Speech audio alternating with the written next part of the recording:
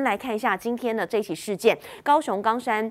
空军官校一架 AT 三的教练机，在今天早上进行训练的时候，起飞五分钟就发生了坠机意外，少尉飞官徐大军。不幸殉职。那他的坠机地点呢，是在人烟稀少的地方。有专家研判，他应该是尽全力在最后一刻都保护民众。那么他呢，从空军官校起飞，但是三分钟之后就消失在雷达光点。那最后的坠落地点呢，是在呃大冈山的一处空地。那其实附近有民宅，但是呢，民宅都是安全的。其实当地的居民就说啊，当下他们就有听到砰的很大一声，跑出来看。有人说看到远方有冒烟，一开始大家以为是气爆呢，后来就看到飞机解体，零件四散。那殉职的徐大军少尉，四月十六其实才刚过生日哦，当时他的爸爸还祝福他飞翔天际，结果没想到发生不幸殉职事件，家属也悲痛的赶往坠机地点。高雄大冈山草地上遗体盖上白布，身边还有监视人员。附近树枝被撞断，地上明显刮痕，满地飞机残骸。三十一号上午八点零八分发生 A T 三教练机坠机意外，飞官徐大军少尉殉职。那安尼变这出大声，我就讲，哎，车崩还是啥崩，我唔知影。三十一号坠机意外发生前，总共五架 A T 三教练机将前往台南西港附近训练。徐大军少尉驾驶的教练机八点零三分从空军官校起飞，三分之后光点消失，坠落大约在六七公里外大冈山田厝一路七十七号附近，没有撞击民宅，飞官当场殉职。哎，那你等一下，看你是会会准，买啥会是那树上的边还是安怎？我的厝拢会叮当啊。附近民众听到巨大碰撞声，一度以为是气爆，房子还震动一下。出来查看，发现地上冒烟，军方立刻出动大批人员搜寻。找到时，徐大军上尉不幸殉职。他是新北市人，年仅二十三岁，空管一百一十年班，还是名学官。飞行总时数一百一十六点二小时，A T 三二十四小时，第二次单飞就发生坠机意外。目测的都是应该是台塔的地。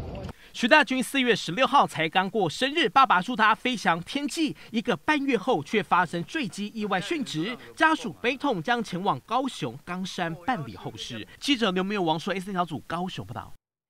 那坠机的意外会是什么呢？我们来看一下，呃，少尉的资料，他是空军官校一百一十年班的，那飞行时数呢是一百一十六点二零小时。那开 AT 三的时数呢？二十四小时，其实这是他第二次的单飞哦。我们来看，有专家研判分析，会不会有可能跟飞机老旧有关呢？好，AT 三教练机，其他的呃机龄啊，已经将近要四十年了，实际的数字应该是差不多三十八年左右。但是呢，在这些年来呢，累计发生过十五次的事故，总共有八位飞官殉职。现在呢，呃，呃前空军的这个。副司令官呢，他也研判可能非发动机或者是天气的因素，那是什么呢？会跟飞机老旧有关吗？会是跟鸟击有关吗？现在恐怕都还有待空军进一步的调查。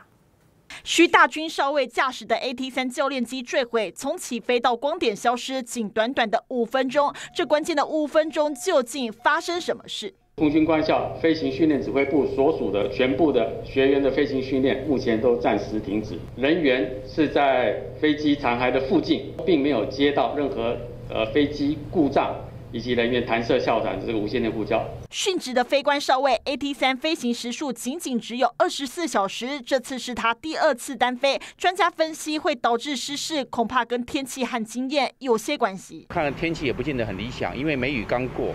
水平能见度可以，但是垂直能见度不见得很好，甚至吸到鸟，它为什么没有弹射跳伞？是不是因为它在处置？或者闪避这些民宅或人烟稠密的地区。由于这次坠机的地点是在内陆平地，因此这也是国防部调查的重点之一。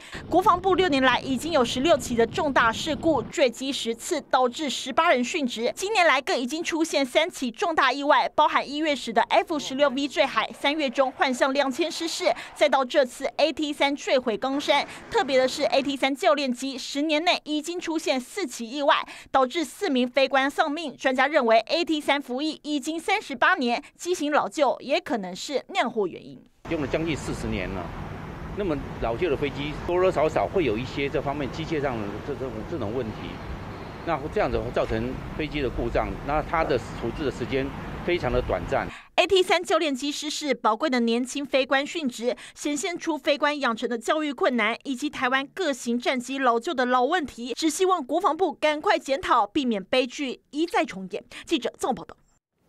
那有媒体就整理出呢，蔡英文二零一六年上任以来发生过十起的重大的空军空难，造成二十人死亡。那么今天呢，我们看到了蔡英文的脸书呢，他又 PO 了一篇讯息，大家稍早可能都看到新闻了哈，重点帮大家画出来了。接过讯息，难过不舍，我已经指示国防部彻底厘清事故原因，全力来协助处理后续。哦，很多网友也开始在底下做回复了，网友翻白眼 PO 文，觉得说这又是万用稿。吗？另外还有人故意很酸的说，一个 hashtag 很多飞官走了，这样说会不会被抓？有人也说飞官是人，小孩不是吗？好，网络上很多人都在做回复，但是呢，我们再来看一下这一篇，是不是又有这个是青绿粉砖，又有人在带风向吗？这样的一个留言呢？他说呢，令人难过的消息，但重点就在我们有一个坏邻居，天天派飞机。接近台湾，好，这算不算是带风向呢？那新政院长苏贞昌今天在得知这个消息之后呢，他也做出了回应，他表示国防部会立即的查明原因，给家属最大帮助。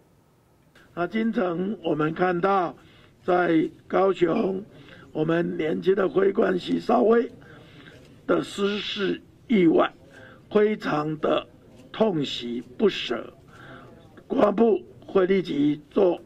最快查明相原因，并给最大的帮助。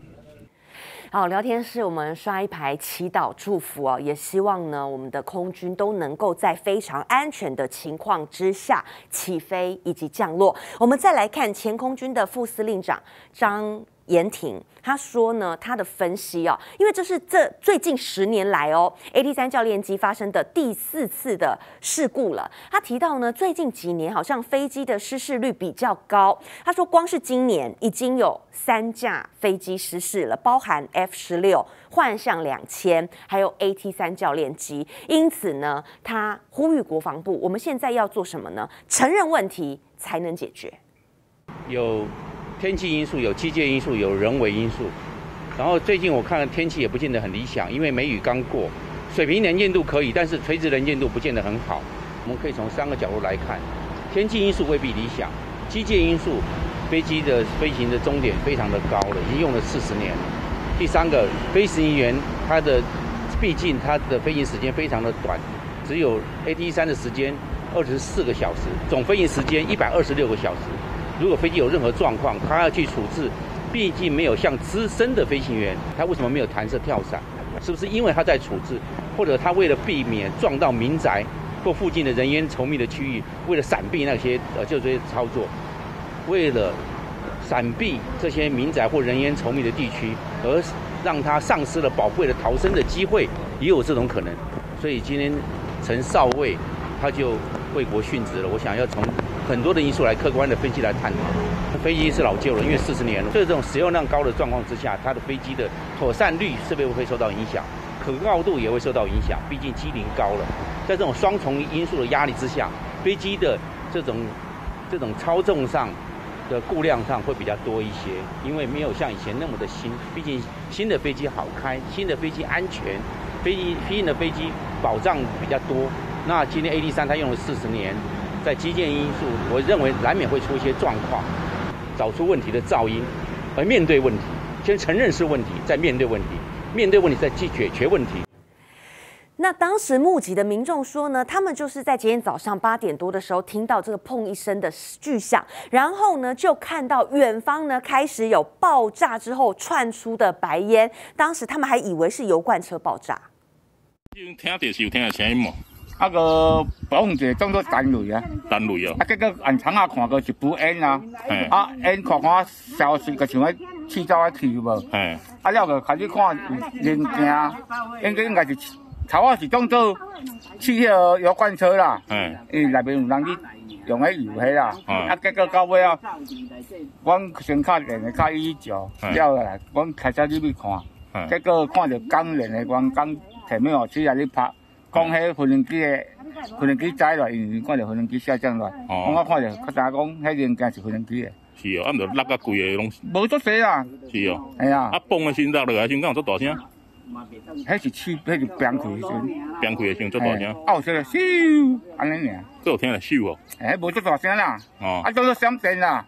哦，恁这种像闪电的。我这听到可能闪电。嘿，啊，你敢有惊伊？你要较敢去较近甲看？有啊，啊，无啥物零件啊。啊，有看迄种尸体，尸体是种，两分到百外公尺有吧？哦，尸体有分到百外公尺。安尼哦。系啊。哦，啊你无迄个。零件很足少啦。啊，恁遮是定拢有飞机的伫咧？啊，这空军咧，不是因为这空军是公山尔啊。啊，你可能去有诶无？